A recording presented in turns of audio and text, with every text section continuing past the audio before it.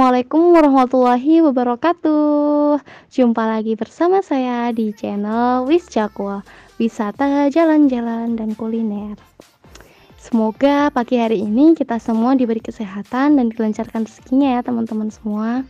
Amin amin ya robbal alamin. Pagi yang cerah ini saya akan mengunjungi Pantai Indah Kemangi yang ada di Kabupaten Kendal, Jawa Tengah seperti pada umumnya, di sepanjang jalan ke pantai, biasanya kita akan disuguhi dengan pemandangan persawahan yang ada di sekitar kita. Sobat bisa melihat di kanan kiri saya banyak persawahan yang ditanami jagung. Memang mata pencaharian di desa ini adalah petani gitu. Kalau musim hujan, biasanya sawah-sawah di sini ditanami dengan padi. Sedangkan di musim kemarau memang Para petani biasanya akan menanami dengan tanaman palawija seperti jagung ini. Oke sobat, perjalanan kali ini sudah setengah jalan ya kita. Dimulai tadi dari di jalan utama Pantura. Untuk menuju ke pantai akses jalannya sobat bisa menempuh dengan naik mobil ataupun motor. Oke sembari menikmati perjalanan Sebelum sampai, kita review dulu yuk akses menuju pantai ini. Di sepanjang jalan ke pantai, seperti pada umumnya, biasanya kita akan melewati pemandangan persawahan yang ada di sekeliling kita. Untuk akses jalannya, kalau ditempuh dengan mobil kurang lebar ya. Kalau berpapasan dengan mobil lain, harus ekstra hati-hati dan harus ada yang mengalah. Jalannya juga masih ada yang berupa tanah, belum ada jalan khusus untuk menuju akses ke pantai. Maka kita harus melewati jalan kampung pemukiman warga. Oh iya sobat, Pantai Indah Kemangi ini berada di desa Jungsemi, Kecamatan Kangkung ya.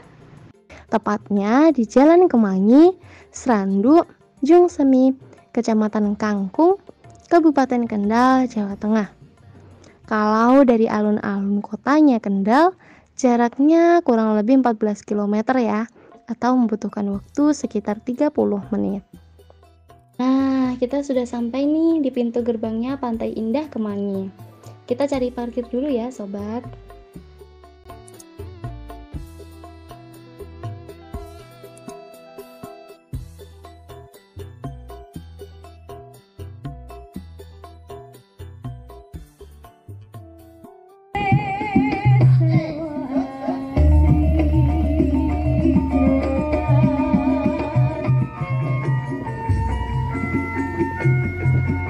Oke sobat, sekarang kita keliling yuk di pantai indah Kemangi ini.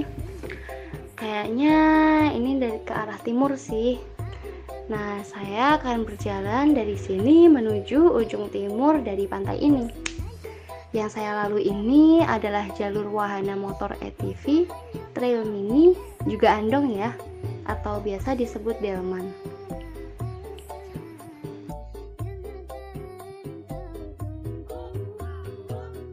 Kita akan menuju ujungnya pantai ini dulu.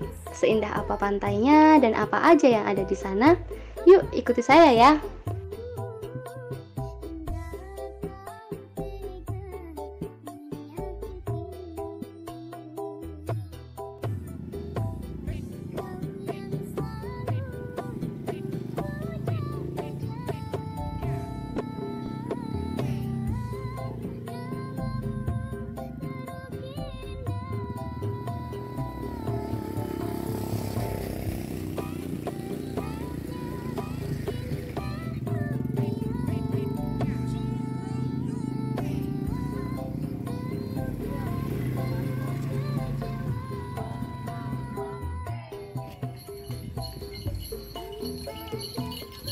Nah, kalau dilihat dari arah kanan saya tadi, ini adalah ujung dari uh, Pantai Indah Kemangi.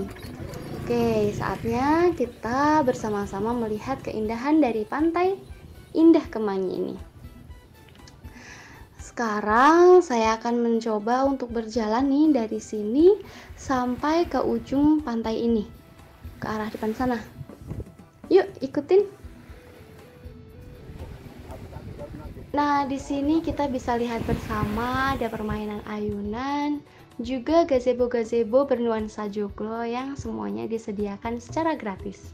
Kita bisa duduk-duduk santai di sana sambil menikmati pemandangan pantai, makan bekal nasi juga sambal petai. Eh, hihihi.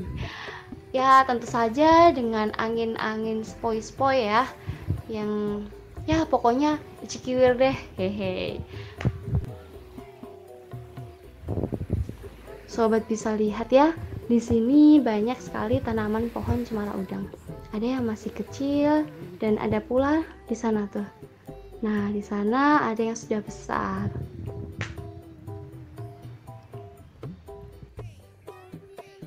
Di sini banyak pula masyarakat yang menjual kuliner. Sobat bisa menikmati kuliner yang dijual, mulai dari nasi rames, lompong, pecel, gado-gado, dan beraneka macam kuliner lainnya.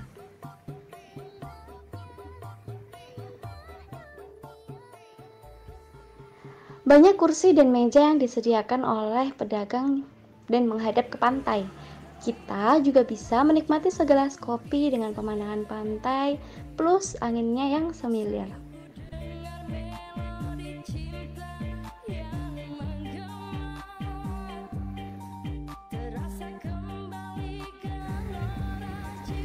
Hamparan pantainya yang luas dan ombak yang tidak begitu besar selalu menambah pesona pantai ini. Pantai ini konon katanya pantai yang mistis.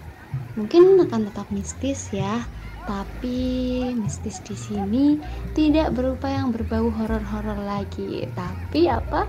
Manis dan eksotis. Oh iya sobat, di sini juga disewakan perahu karet dan ban pelampung.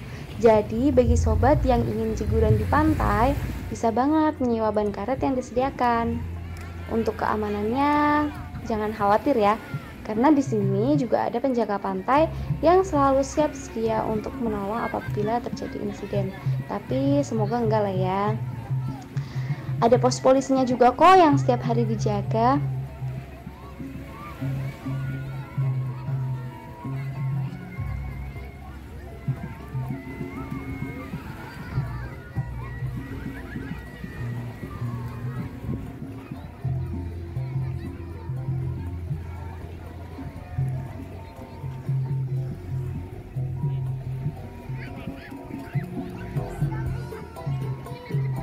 Bagi sobat yang sudah selesai bermain air, di sini seperti pantai pada umumnya, pemandian bilas tetap ada ya. Ada juga musola yang disediakan untuk beribadah dan wahana trampolin untuk anak-anak. Setelah saya mengelilingi pantai dari ujung timur sampai ujung barat ini, terlihat ya sobat bahwa pantai ini sangat indah. Banyak pohon cemara udang dan pantai yang eksotis sangat menarik wisatawan untuk terus datang ke sini. Menurut saya, ini adalah wisata bahari potensial yang ada di Kabupaten Kendal.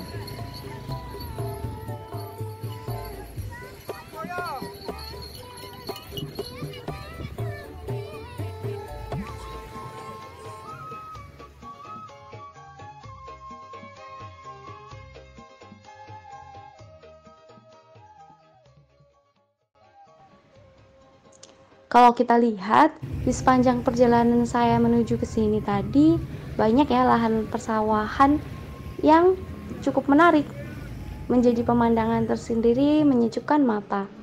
Dan bisa jadi mungkin 10 atau 20 tahun ke depan lahan-lahan tersebut beberapanya sudah menjadi hotel ataupun wahana wisata baru lainnya. Cuma sayangnya memang jalan untuk menuju ke pantai ini masih kurang lebar dan masih ada pula yang berupa tanah. Um, mungkin butuh perhatian lagi ya dari dinas pariwisatanya. Dinas pariwisata pemerintah Kabupaten Kendal ataupun mungkin pengusaha-pengusaha swasta dan pengembang yang ingin berinvestasi di sini. Karena wisata ini akan sangat potensial sih ke depannya. Ya, kita doakan bersama ya sobat. Semoga pantai ini ke depannya lebih menarik dan lebih terkembangkan. Oke sobat, sampai di sini dulu ya perjalanan wisata saya hari ini. Ikuti terus perjalanan wisata saya berikutnya. Terima kasih sudah menonton video saya.